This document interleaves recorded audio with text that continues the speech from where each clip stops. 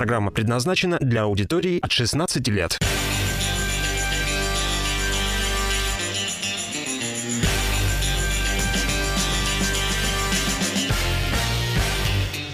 Корейские ученые создали не вызывающую похмелье водку. Она способна наделить употребившего ее человека энергией и придать ему здоровый вид. Мужчина на охоте не застрелил оленя потому, что животное подошло к нему вплотную и стало лизать ствол ружья. В Америке выпускница школы приехала на выпускной бал в гробу, причем живая. Козленок, которого воспитала собака, ведет себя как щенок. И, наконец, в Кирове улицу Горбачева хотят назвать в честь князя. Мы не изменяем свои традиции и в четверг начинаем дневной разворот с озвучивания заголовков мировых мировых, российских и местных СМИ. Добрый день, Светлана Занько. Владимир Сметанин, добрый да. день. Володь, ну, ты знаешь, э, ну, ты всегда позитив. Ты всегда вот солнце несешь в нашу да студию. Ладно.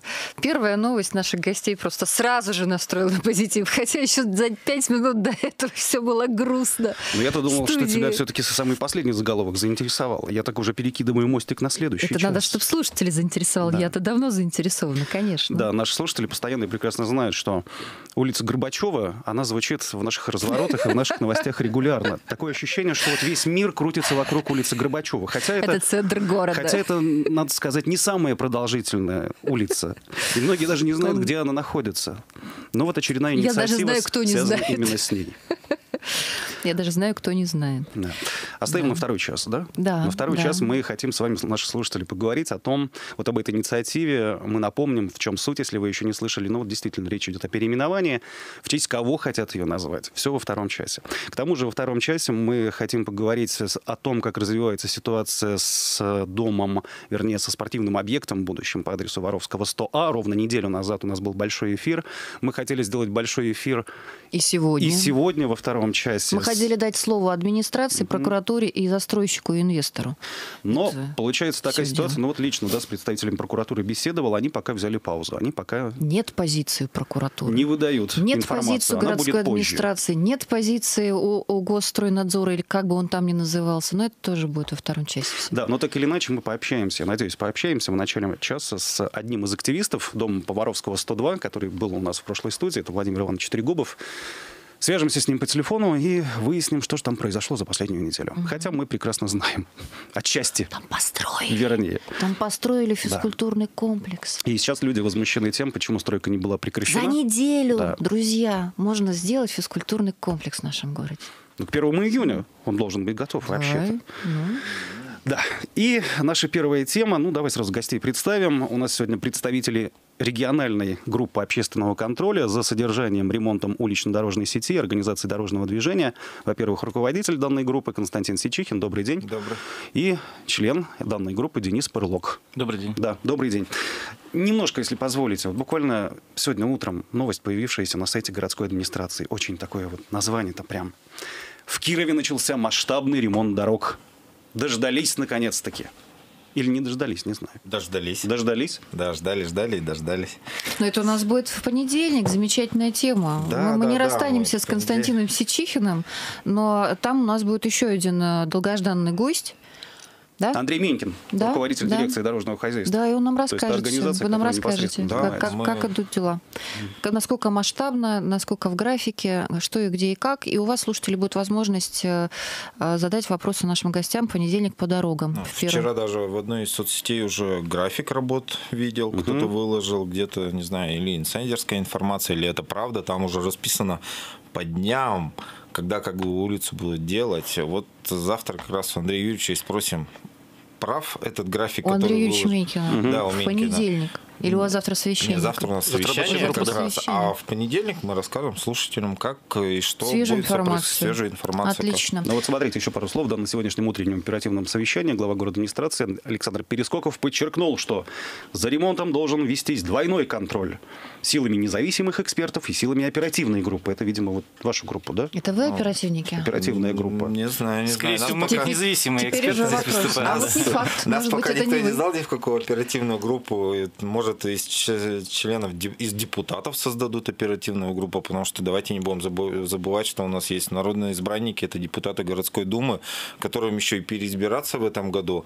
Так пусть создают оперативную группу, пусть создают оперативный штаб какой-нибудь при, госу... при городской думе и с удовольствием на дороге контролировать. А вы их? А мы, ну, их не их, но со своей стороны был, тот был. опыт, который у нас уже накоплен за год практически работы рабочей группы, мы будем применять и в этом году. Мы обязаны сделать так, чтобы отремонтированные дороги служили много лет. Точка. Подчеркнул глава город администрации. Правильно говорит-то все, конечно. Безусловно. Ну, это большая эпопея начинается, да, конечно. И это в понедельник да, мы начнем. Следить. В понедельник. Ну, а сегодня общественный транспорт. Откроем. Общественный угу. транспорт угу. все-таки, да, э, за контролем которого вы тоже, контролем которого вы тоже занимаетесь. Ну, мы здесь разговаривали уже с, э, с Виталием Брамом по поводу, начинали разговаривать угу. по поводу эпопеи с общественным транспортом, и мы смотрим, что наши коллеги э, из разных СМИ, в том числе и телевизионных, поддержали эту тему. Буквально вот 2 числа был журсовет на девятке. Это я специально даю ориентировки нашим слушателям, если они хотят подробно это все посмотреть. Но, собственно говоря, э, всю хронологию событий можно отследить и на, на портале, да, где блоги Виталия Брама э, выкладываются. Там он все систематизирует. И... В том числе на нашем сайте. Да, на нашем сайте да. мы тоже в блогах выкладываем то, что пишет Виталий. Можно все посмотреть. У нас э, по этому поводу достаточно много вопросов. Мы хотим понять, что происходит, какие есть изменения. Но поскольку у слушателей не все проблемы проблемы еще обозначены. Мы не говорили о проблемах, мы с Виталием, когда он сюда приходил, говорили о проблемах о качестве транспорта, который у нас ходит. А сейчас мы будем говорить о количестве транспорта и его доступности. Да? А, выявилось несколько а, серьезных очень проблем из микрорайонов, которые, в общем, а, сейчас развиваются. Это микрорайон Солнечный берег, это микрорайон Ганина, который не так активно, конечно, тоже застраивается. И это любимое нашими бардовскими поклонниками бардов направление Бахта русская а, тоже вот а, направление, где есть проблемы. Нам до перерыва, у нас есть там три минуты, нужно обозначить, что там за проблемы, чтобы слушатели, кто не знает, были в курсе, кто это сделал. То, что непосредственно в вашу ну, группу обращались, да? Да, да, да. По Бахте, если по Бахте сказать, то там у нас проблема выявилась, на мой взгляд, очень ужасная. Город Киров все-таки Бахта является, а проезд... Октябрьский район. Да, Октябрьский район, а проезд туда не 22, не 23 рубля, да, а все 80, а практически последняя остановка там и под 100 рублей платят, да, хотя черта города, и извините, по законодательству у нас в рамках черте города должны возить согласно тарифу города Кирова, а не согласно... Но законодательство на этом направлении не действует, судя ну, по всему. Вот мы сейчас этот момент как раз изучаем более подробно и уже нашли моменты, связанные, почему Верховный суд постановил, что должен быть тариф, да, потому что в свое время одно постановление в области... Единый тариф имеется Нет, в виду?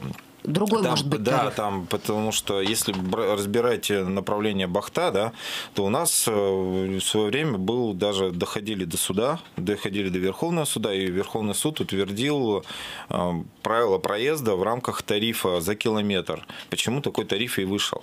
Э, ну, вот сейчас То есть никто изуч... ничего не нарушает, перевозчики Нет, не нарушают. Бы, как бы не нарушают, с одной точки зрения в рамках закона, да, но с другой точки зрения начали изучать более глубоко эту, эту как бы проблему и пришли к выводу, что вот сейчас с нашими юристами, которые в рамках общественной палаты пришли к выводу, что э, в свое время не было отменено просто постановление области, в котором звучит, э, что Бахта это все-таки в рамках того постановления Бахта это пригородный, при, маршрут. пригородный маршрут, да. А просто надо отменить это постановление и все, и переложить ответственность на город. Вот так просто? Ну, по крайней мере, сделать. мы сейчас э, пришли к этому, моменту, к этому выводу. Здесь есть, здесь есть второй минус. Администрация боится, что а, перевозчик, который работает на данном направлении, так под, а, откажется от а, данного маршрута ввиду нерентабельности. Но у нас у рабочей группы есть а, обращения от перевозчиков, которые готовы встать на данное направление. Да, не автобусами, наверное, большой цену? вместимости, а за городскую цену. Стоимость билета 22 рубля. 22 рубля, да. То есть, в принципе, все это реально. То есть маршрутки, да, как мы привыкли их называть? Ну, небольшие микроавтобусы. Можно сказать, да, небольшие микроавтобусы, но если а, будет а, повышаться рентабельность на данном направлении, то я думаю, что перевозчику будет выгодно ставить автобусы большей пассажировместимости, но не такие, как сейчас там ходят лязы. То есть, в принципе, они, мне кажется, надо, не всегда надо же себя, смотреть да. с разных точек зрения, понимаете, как бы, знаете же, передвижение, на каких автобусах ездить, на каких, там, «Газель», «Маршрут», «Форд», там, да без разницы какой, да.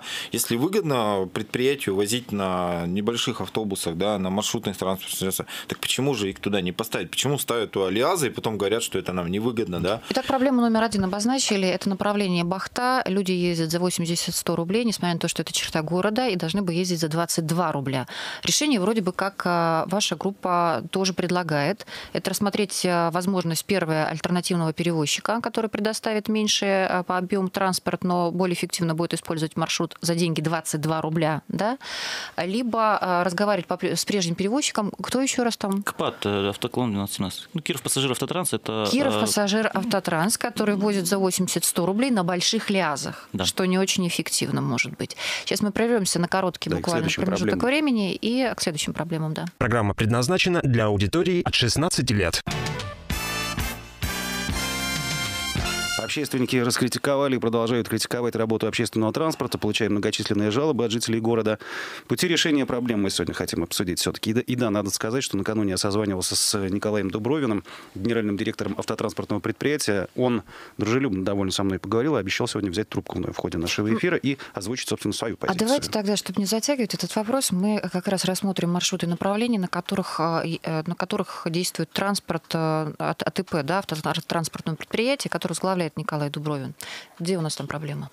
Проблемы э, в ходе горячей линии, которая была проведена общественной палатой э, два месяца назад, были выявлены следующие микрорайоны. Это микрорайон Ганина, туда... Второй и 22 маршрут. Второй, э, второй, 22 и еще 19. На 19 маршрут это а, один автобус в день ходит в, в сезон, в летнее время ходит два автобуса. Ну, то есть, в принципе, то это... как дополнительный для, садов, для садоводов Да, для садоводов он, да? потому что ездит там до конечной уже до садов.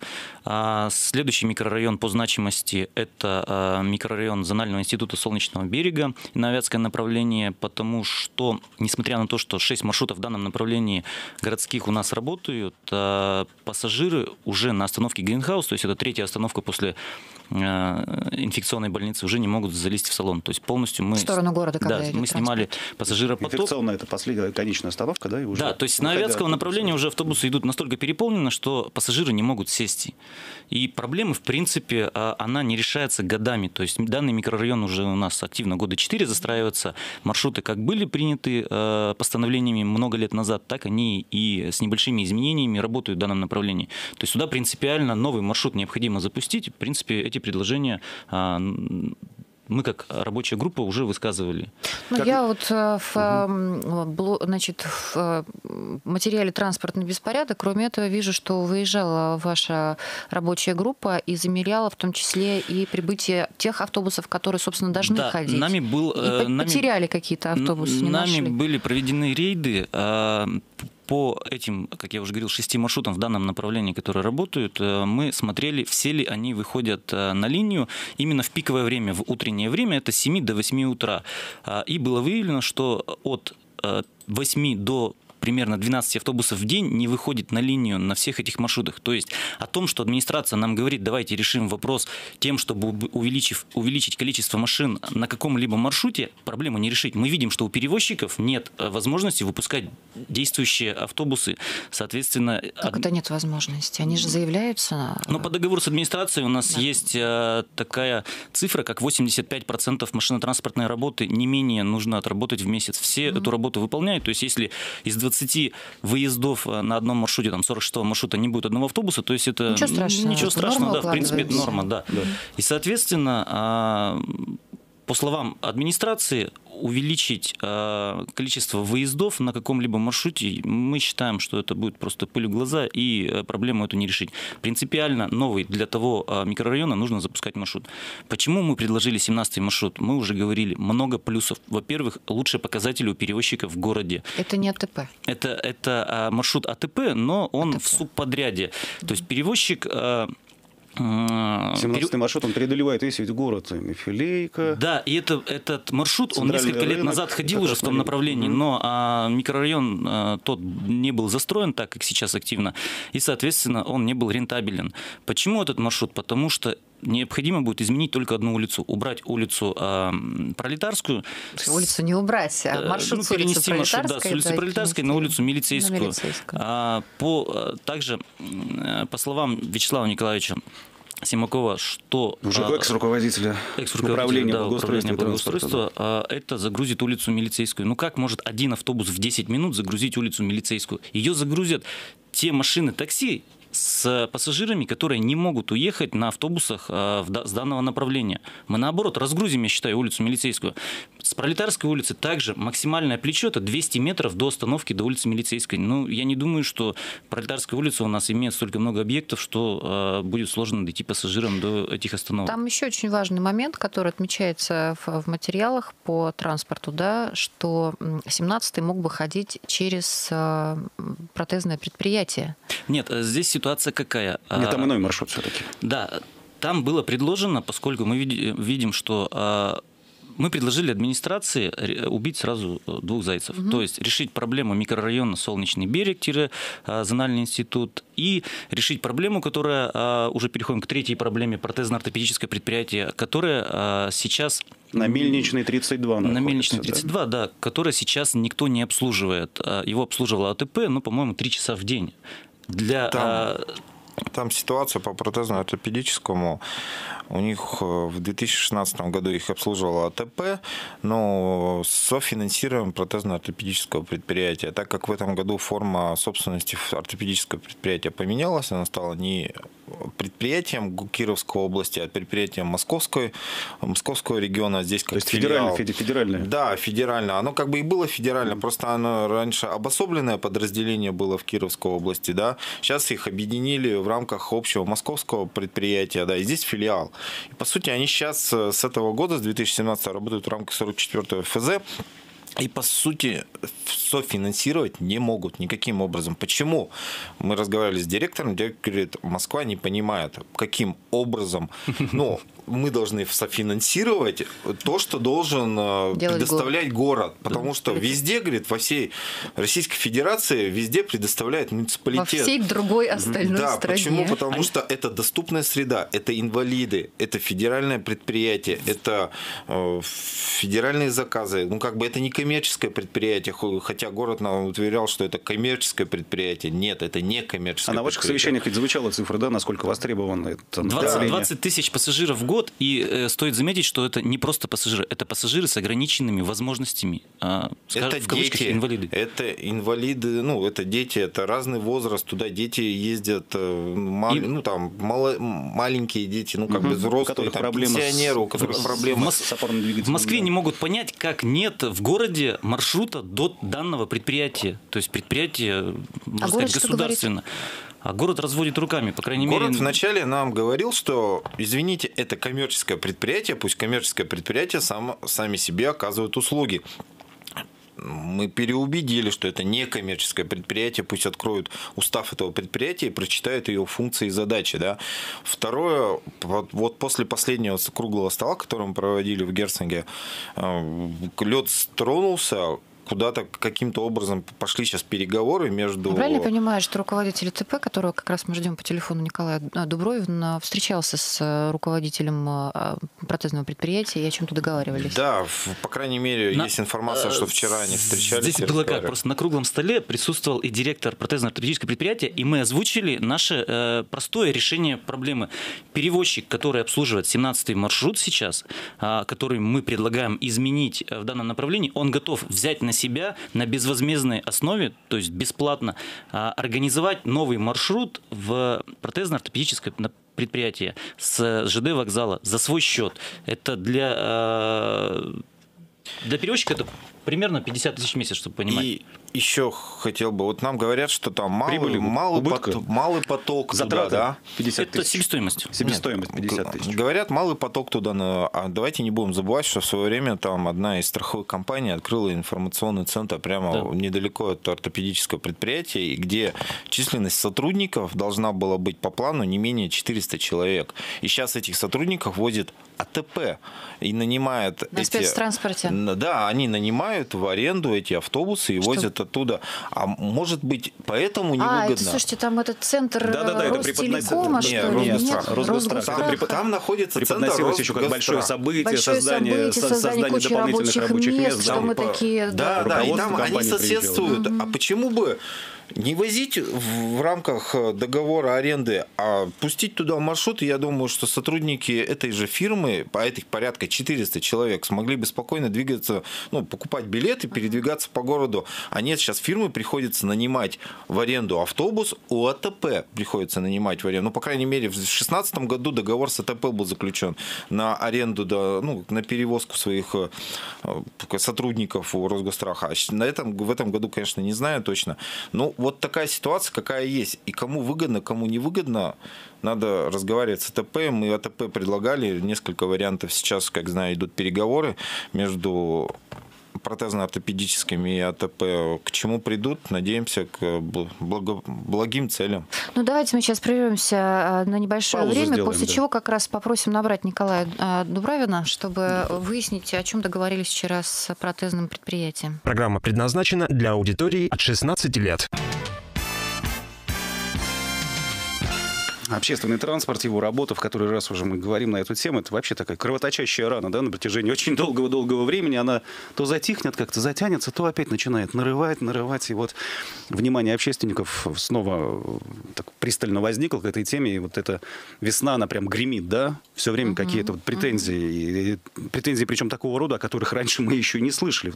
По общему ощущению ситуация усугубляется. Да, мы хотели представители поговорить э, с представителями автотранспортного предприятия, в частности, набираем Николая Дубровина, пока он трубку не берет. э, Николай Иванович, возьмите трубку, просим у вас. Э, Очень важно услышать, о чем договорились вчера с э, ортопедическим предприятием, и что вообще вы думаете, может быть, что-то успели уже обсудить насчет предложений рабочей группы общественной палаты по изменению там, да, движения транспорта в нашем городе. Там есть очень много маршрутов, которые как раз интересны вашему предприятию, вы их обслуживаете. Мы очень ждем вашего ответа. А между прочим, на сайте нашем, на, с- на нашей странице ВКонтакте идет голосование. Прям как вот из песни идет голосование. Навести порядок с общественным транспортом в нашем городе вы считаете возможным, невозможным? Или вы думаете, что у нас с ним и все так в порядке, прям все идеально? 70% голосуют за то, что возможно. Вот, Навести 54 на сайте. ВКонтакте 70, Да. 54 на сайте. 70%, причем ВКонтакте проголосовали почти 200 человек. Вот. Люди-то считают, Нет, что можно. Так люди-то считают, что можно, потому что где есть порядок, там всегда все можно навести. Просто у нас сейчас пока на данный момент мы видим беспорядок. Просто-напросто в структуре АТП происходит, с учетом того, что те уголовные дела, которые заведены, да, то, что происходит на дорогах города Кирова, то, что происходит с новыми районами города Кирова, потому что они не вчера родились-то новые микрорайоны, это Солнечный берег, Чистые пруды, они не вчера, вот знаете, они не, не течение года раз и появились. Их же планировали годами. Константин, простите, а правда, что жители Солнечного берега обращались в город-администрацию, вот, говорили об этих проблемах с доступностью общественного транспорта, на что в администрации им ответили? Пользуйтесь такси, либо выходите пораньше из дома. Ну, я Это слышала со слов э, людей, в которые... сюжете, что Да. пишком ходите. Да, Пешком ну, ходите, да, это, это да. сюжете с участием Виталия Абрама, ты имеешь в виду? Это говорят На люди. остановках А, на остановках. опрашивали, Да, да. это людей опрашивали на остановке, это говорят Или люди. выходите из дома что- в 6 утра. Потому что говорят. они же утром, ну, у кого-то есть возможность сесть на машину и ехать на машине, у кого-то есть возможность вызвать такси, а у кого-то нет этой возможности, которые есть люди, которые ну, идут на остановку, садятся на автобус и едут на автобусе. Хотя у нас все говорят, давайте пересаживаться на общественный транспорт, давайте пересаживаться на общественный транспорт, ну давайте сделаем его доступнее, доступнее для человека, чтобы он мог на общественном транспорте доехать быстрее, чем на такси, доехать быстрее, чем на личной машине. Но у нас такого не, нельзя сделать. Так давайте не будем говорить, давайте будем пересаживаться на общественный транспорт. Улучшать качество общественного транспорта. Ну, что касается личного транспорта, я, по-моему, зимой заезжал туда как раз-таки, в микрорайон Солнечный берег, там машину-то уже негде поставить. Но все равно в микрорайоне Солнечный берег Лич- лично. машину Так лучше они все едут поставить, на чем- машинах сюда, Володя. И теперь негде ставить машину в городе, Да, на самом деле. потому что вот этим не занимается город годами уже. Вот э, потоком общественного транспорта, перед э, потоком транспорта личного граждан, которые перемещаются, да, там. Вот у нас для этого и создана вот новая программа, которую сейчас в течение пяти лет, это развитие городской агломерации города Кирова, да, на которую выделяются колоссальные финансирования федерального и местного бюджета. Так давайте как-то, не знаю, там, говорят, что в городской администрации будет создана какая-то рабочая группа, которая будет, это нам еще Вячеслав Николаевич в свое время говорил, которая в рамках этой... Все, Вячеслав Николаевич ушел ну, с этого поста. Ушел, не ушел, но он остался. Он у нас все-таки сейчас руководитель Первомайского района, и пусть он за свой Первомайский район, как он отвечал за весь город в рамках благоустройства, начинает отвечать за Первомайский район. А Солнечный берег у нас... А, они просто взял Ленинский, и спрятался. Солнечный Ленинский, ну, да. Все-таки у Вячеслава Николаевича там есть э, район Озерки, который новый отстраивается, Коминтерн, которым тоже куча-куча проблем, да, так пусть занимается этими проблемами. Ну, погодите, сейчас. еще доберемся. Нет, Вячеслав Николаевич вчера, кстати, сказал интересную фразу, что да, вот я начинаю работать начальником теруправления Первомайского, но я все-таки ведь знаю подноготную, как работает э, моя структура, которую я возглавлял, Конечно. управление, и там я уже понимаю, что будут несостыковки какие-то. Ну, что, а какие имел, несостыковки что он имел в виду, я не допонял, быть? конечно. Какие несостыковки? У человека есть огромный опыт э, работы в благоустройстве города Кирова, да, там общественный транспорт, дорожное строительство. Так переложи этот опыт на Первомайский район, сделай его красивым, Погу... Погодьте, что называется, граждане. С 10 числа только человек со вчерашнего работает на Первомайке. Мы его настраиваем, настраиваем на позитив. Слушайте, очень жаль. А, молчит, а, молчит АТП. Ну, подождите, вот наш редактор Анна Лапшина тут подсказывает, секретарь Дубровина подсказывает, что сейчас совещание какое-то идет в администрации. А и не может, наверное, взять а у нас трубку, есть да? предположение, есть какое совещание-то? Денис, Нет, сегодня говорили, что... в транспортной инспекции проходит совещание с перевозчиками областными. Что хотят от перевозчиков? Хотят э, заслушать их доклады по аварийности, э, сами доложить, э, как дальше будет развиваться эта сфера. Но, э, скажу вкратце, я был на этом совещании. Плановое мероприятие, да? да регулярно проходит. Сейчас складывается такая тенденция, что быть нелегальным перевозчиком намного выгоднее, чем быть легальным перевозчиком. Потому что для легальных перевозчиков штрафы увеличиваются практически ежегодно, а для нелегальных штрафы остаются. Поэтому, вот, а знаете, сколько у нас нелегальных перевозчиков? Ну, по области не могу сказать, но... В городе? В городе у нас на сегодняшний день по-моему, один остался вот в сторону Бахты, который э, работает, вот тот, нелегальный о котором мы говорили, да, который, да небольшой, который возит, э, возит также за а, стоимость проезда, по-моему, у него 20 или 25 рублей, но в два раза ниже, чем официальные маршруты в том направлении.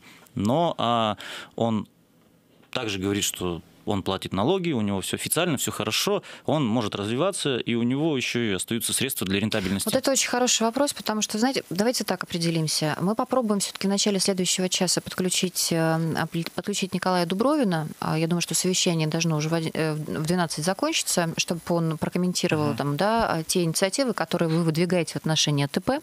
Опыт участия у тебя, да, видимо, в совещаниях в администрации есть, да? Представляешь, когда они примерно должны начинаться Мне кажется, уже закончится скоро этот наш опыт участия общественников э, в этих совещаниях. Денис ведь Прылок еще очень интересную информацию озвучил в перерыве. Мы хотели все-таки выдать ее. О том, что есть перевозчик, у которого есть два новых абсолютно, да? А, газомоторных один, один автобус полностью новый, куплен а, по лизинговой программе, выйдет на маршруты уже со следующей недели. И один автобус а, подобный также на газомоторном топливе, но с небольшим пробегом, пробегом с небольшим износом. Он получается 2013 года.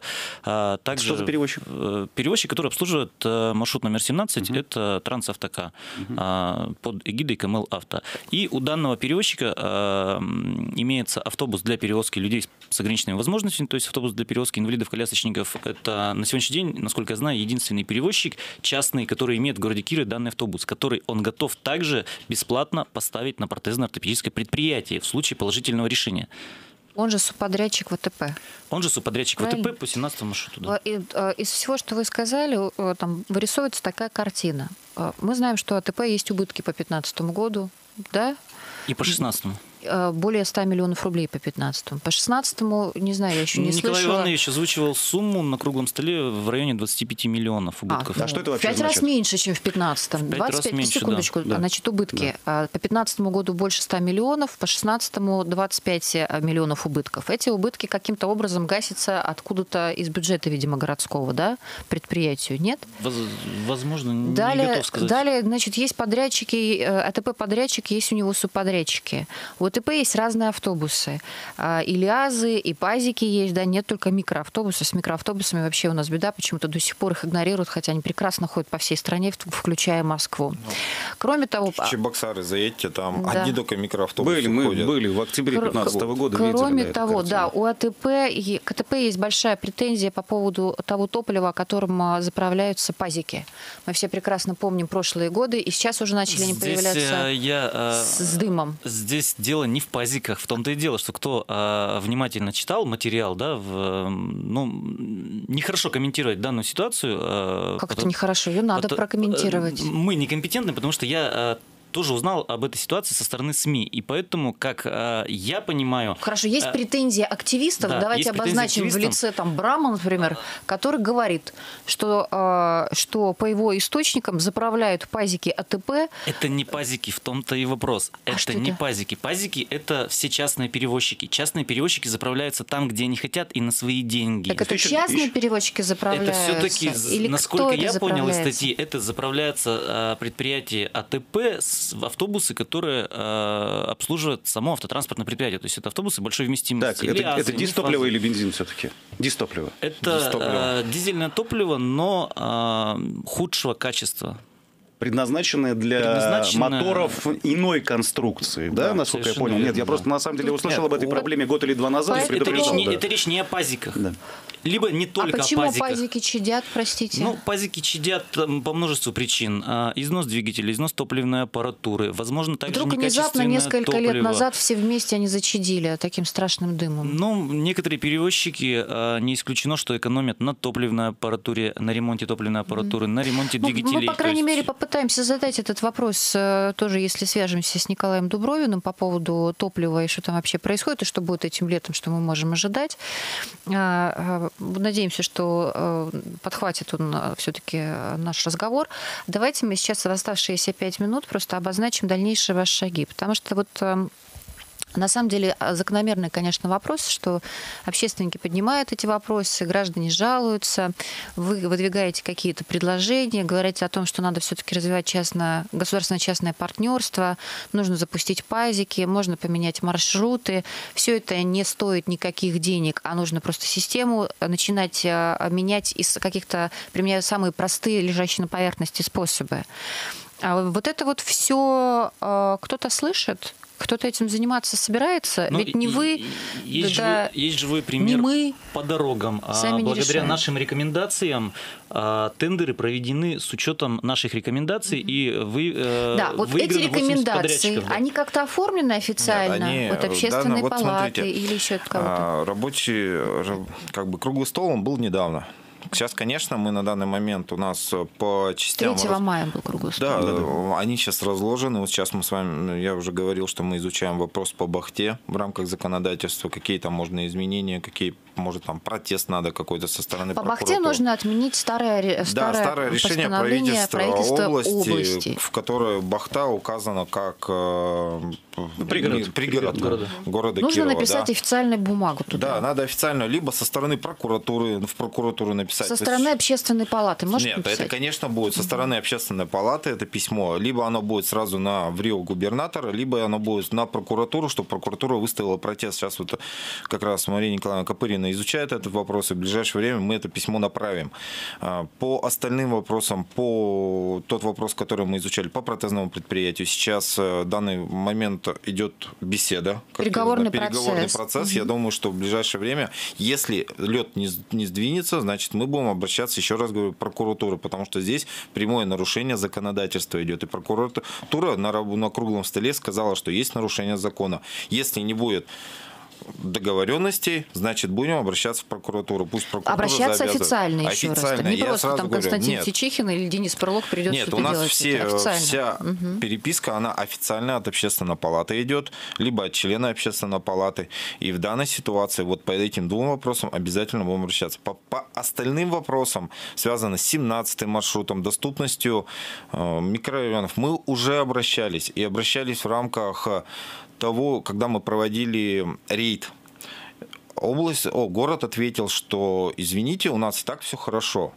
куда вы, как говорится, смотрите. А где критическая так... точка? Вот сколько должно быть жалоб от людей или что они должны сделать, чтобы город сказал, да, что-то проблема у нас там? Так э, критическая точка будет тогда, когда просто-напросто либо люди устроят какой-нибудь флешмоб и не сядут в эти автобусы, которые переполнены или просто-напросто, да, либо еще что-то. Я, конечно, не призываю к какому-то тут движению, но город, наши, ну, наши город пойдут должен, пешком. Да, я считаю, город должен услышать. Кстати, Они кстати пойдут. прошлым летом же Садаковский, Костина, Бахта, там были реплики о том, что мы дорогу перекроем, перекроем если так вы они не, реплики не сегодня идут. Да. Если не происходить вот этой беседы, если не будет, если э, власть, а именно город Киров, не будет слышать э, тех людей, которые проживают в городе, так понятно, они начнут не только улицу Ленина начнут перекрывать, Бахту начнут перекрывать. Еще надо диалог вести, надо предлагать, надо показывать, что власть работает. На данный момент мы не видим этой работы. Вот в этом именно направлении связано с общественным транспортом. Я прошу прощения, а лично господин Перескоков что говорит по этому поводу? Да Глава нашего города. Говорит. Он говорит... Э, Клумбы от, посадить, говорит. От, ответ, э, я же говорю, ответ с города Кирова, который поступил после рейда, что в городе все и хорошо. так все хорошо транспорт ездит, перегружать не надо. Вот правильно Денис ответил, что там э, автобус номер 17 может перегрузить всю улицу Ленина, если он туда поедет.